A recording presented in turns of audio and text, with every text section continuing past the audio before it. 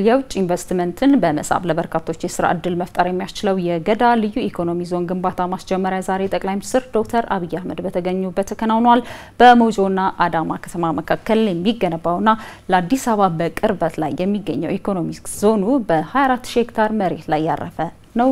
አዳነች አበበ ለተጨማሪ መረጃ በቀጥታ የስልክ መስመራችን ላይ ትገኛለች። አዳነች እንዴት ውለሻል? አጠቃላይ መረጃሽ ምን ይመስላል? እስኪ ለተመልካቾቻችን ታደርሽ።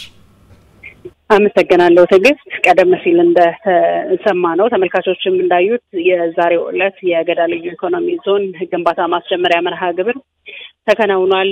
በዚህ የኢኮኖሚ ዞን ላይ እንግዲህ ብዙ ነገሮች ይጠበቃሉ። በተለይም የሚገነባው ቦታ ጀምሮ በአብዛኛው የንግድ እንቅስቃሴ ያለበት እንዲሁም ደግሞ ከሀገሪቱ ዋና ከተማ አዲስ አበባ በቅርብ ርቀት ላይ መገኘቱ ደግሞ ለሀገር ትልቅ አስተዋጽኦ ይኖረዋል ተብሎ ይታሰባል። ስልሳ አምስት ኪሎ ሜትር ርቀት ነው ከአዲስ አበባ የሚገኘው። በሞጆና በአዳማ መካከል ነው ግንባታው የሚከናወነው። ሁለቱም ከተሞች እንግዲህ ከፍተኛ የሆነ የንግድ እንቅስቃሴ ያለባቸው ናቸው። በተለይም ደግሞ የሞጆ ከተማ የደረቅ ወደብ መቀመጫ ከመሆኗ ጋር ተያይዞ የኢኮኖሚ ዞኑ ሲገነባ በርካታ እድሎችን ይዞ ይመጣል ተብሎ ነው የሚጠቀሰው። እንደሚነገረው እንግዲህ ሀያ አራት ሺህ ሄክታር ላይ ያርፋል ተብሎ ይታሰባል። የተለያዩ ግንባታዎች ናቸው የሚከናወኑት። የዛሬ እንግዲህ በይፋ ግንባታው ተጀምሯል። የቻይና ካምፓኒ ነው ግንባታውን የሚያከናውነው።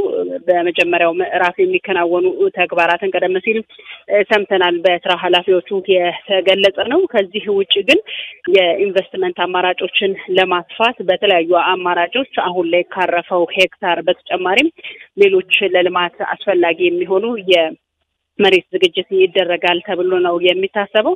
እዚህ ጋር እንግዲህ የልማት ስራዎቹ ይጠበቃል። በተለይም ደግሞ በአብዛኛው እንደምናውቀው የኢኮኖሚ ዞን ሲገነባ እዛ አካባቢ ያሉ መሰረተ ልማቶች ላይ ትኩረት ይደረጋል። አሁን ላይ ባለበት ደረጃ በጥሩ ሁኔታ ውስጥ ነው የሚገኘው አካባቢው ማለት ነው። በተለይም ደግሞ ከመንገድ ግንባታ ጋር ተያይዞ የፈጣን መንገድ የሚገኝበት ከአዲስ አበባ እስከ ሞያሌ ያለው መንገድ ያለበት ነው። ሌሎችም ወደሚያሳልጡ መንገዶችም እዚሁ ይገኛል። ከዚህ በተጨማሪ ደግሞ የባቡር መንገዱ ዋና አቋርጦ የሚሄደው እዚህ መሆኑ ትልቅ እድል ይኖረዋል ተብሎ ይታሰባል። ከምንም በላይ ደግሞ አካባቢውን ለማልማትና ሀገርን ለመለወጥም ትልቅ እገዛ ያደርጋል ተብሎ ይጠበቃል። በተያዘለት መርሃ ግብርም በቶሎ ግንባታው ተጠናቆ ወደ ስራ ይገባል ተብሎ ይታሰባል። በዚህ ደግሞ በተለይም የሚሰማሩ ባለሀብቶች አሉ። ወደ ሀያ አንድ የሚደርሱ አንድ መቶ ሀያ ቢሊዮን ብር ያስመዘገቡ ባለሀብቶች ናቸው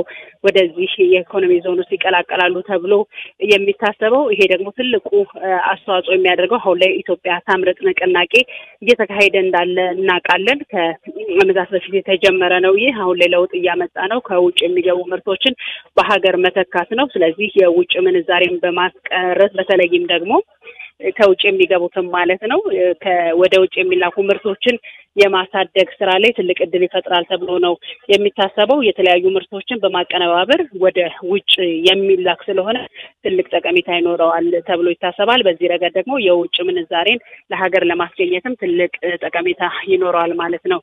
ይህ የገዳ ልዩ ኢኮኖሚ ዞን ግንባታ ሲጠናቀቅ